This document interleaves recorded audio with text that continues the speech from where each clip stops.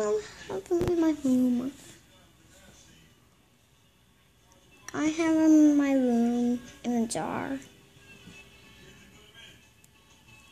Can I have a jar? Can I have a jar? No. Because he's so cute. I want to have a whole family about them. We have frogs oh, over there. They live- Hey, mom.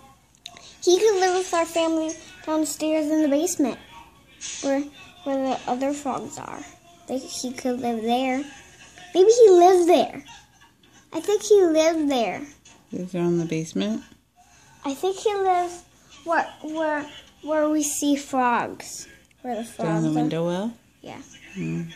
I think he lives there. with- I think that's where his family can be. Froggy, do you live down in the window well?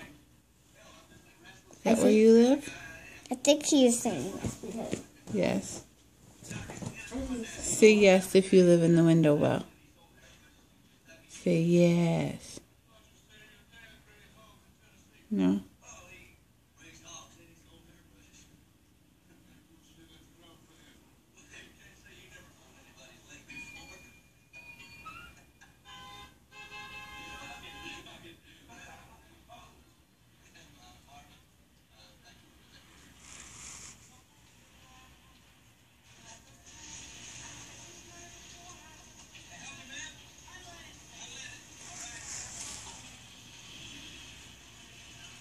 Go toward the light.